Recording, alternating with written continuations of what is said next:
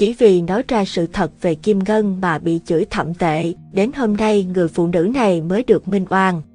Nhìn nhận một cách thực tế, nếu để nói rằng người xã thân giúp Kim Ngân nhất thì có thể khẳng định là Thúy Nga. Tuy nhiên, người biết nhiều bí mật và câu chuyện về Kim Ngân, thì Thúy Nga còn xếp sau rất nhiều người khác. Vì Thúy Nga mới qua Mỹ được 10 năm, có rất nhiều người ở Mỹ lâu năm. Họ biết sự thật về Kim Ngân, nhưng nhiều khi không muốn kể, hoặc nói ra sẽ sợ phiền phức.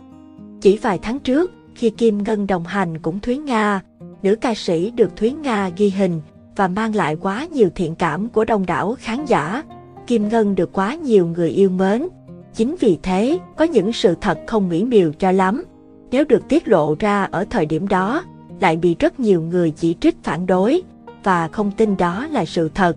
Thậm chí ai nói ra điều gì không có lợi cho Kim Ngân thì lập tức bị chửi bới và Tri Di Phương Trinh chính là một nạn nhân của điều đó. Những lời của Tri Di chỉ vì quá thẳng thắn trong lúc Kim Ngân còn được yêu quý nhiều nên Tri Di đã phải nhận lại cả trăm lời vùi dập đến mức nữ ca sĩ không dám lên YouTube nói về chuyện Kim Ngân nữa. Mới đây, vợ cũ bằng Kiều, khi thấy mọi chuyện lắng xuống, mới dám xuất hiện trở lại và có những lời tâm sự về chuyện Kim Ngân, Thúy Nga.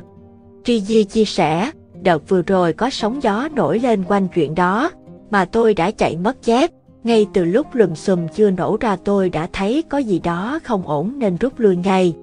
Y như rằng sau đó sóng gió bùng lên dữ dội, may mà tôi rút lui kịp nên được bình an để lo công việc. Tới hôm nay mới dám ló mặt vào YouTube. Hồi đó tôi nói không ai tin, còn bị xuyên tạc chửi bới nhiều. Nhưng bây giờ có lẽ thời gian đã trả lời tất cả.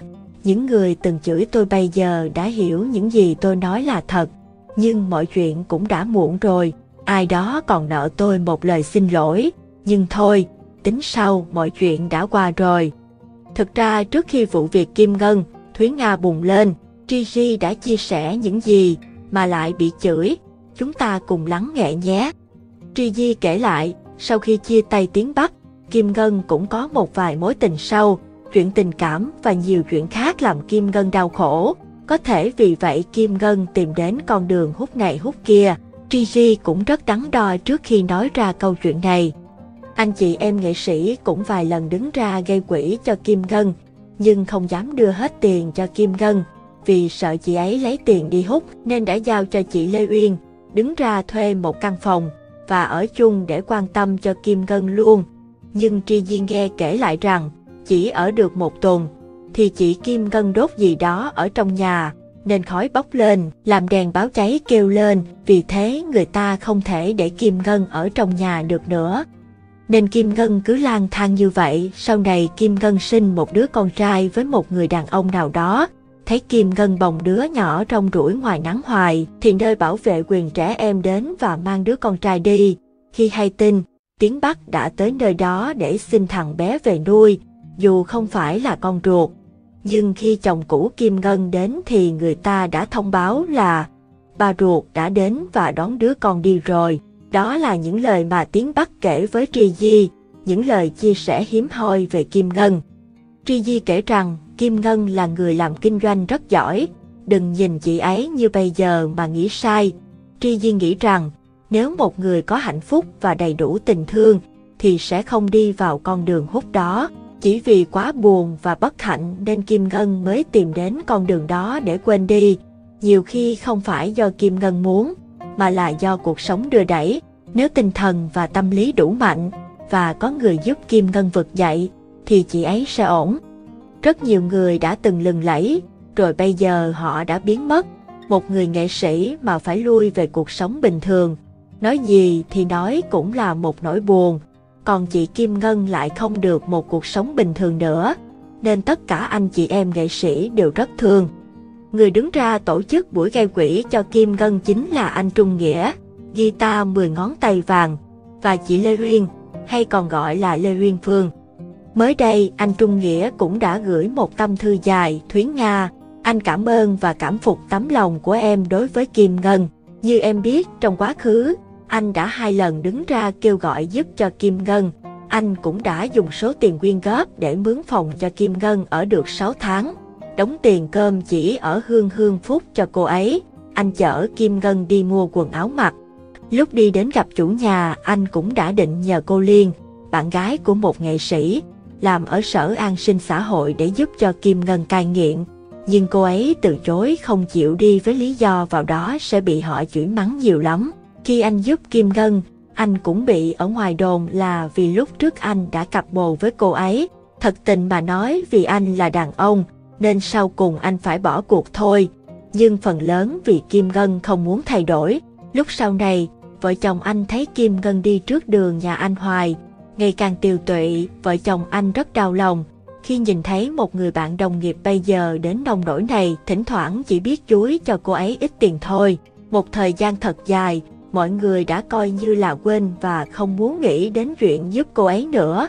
Anh chị em bà con gì của cô ấy ở đâu trong bao lâu đó, đã làm được gì cho cô ấy, nói chuyện vi phạm luật này nọ. Bây giờ thấy em đã giúp cho Kim Ngân hơn nửa đoạn đường, sắp trở lại được chính mình, thì họ lên tiếng xàm xí đúng như vậy.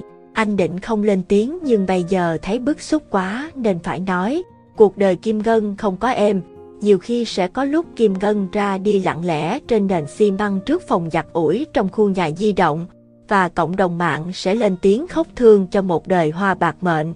Anh cảm ơn em đã can đảm giúp cho Kim Ngân với tất cả tấm lòng của một đồng nghiệp, một tình người. Hãy mạnh mẽ và tích cực và kệ miệng đời em nhé. Nhiều dấu hỏi đặt ra vì sao Kim Ngân lại chọn cuộc sống lang thang như vậy. Có người nói Kim Ngân nghiện ma túy, có người lại nói do cú sốc mất con, còn mẹ Kim Ngân thì nói rằng Kim Ngân sốc khi chứng kiến một khán giả bị bắn chết. Vậy thực hư câu chuyện thế nào, tại sao Thành Lễ lại khuyên Thúy Nga, nếu can thiệp sâu vào đời sống của Kim Ngân thì đại họa sẽ ập xuống. Trong khi Thành Lễ cũng là người đi trước từng giúp đỡ Kim Ngân chắc hẳn, anh này cũng đã trải qua một chuyện gì đó khi giúp Kim Ngân, nên Thành Lễ mới cảnh báo Thúy Nga như vậy. Không lẽ việc giúp người lại khó khăn đến vậy sao? Những biến cố trong cuộc đời Kim Ngân, khi đang từ đỉnh cao sự nghiệp, tụt dốc đứng chỉ trong vài năm, có một người duy nhất biết tất cả, đó là Tiến Bắc, chồng cũ của ca sĩ Kim Ngân.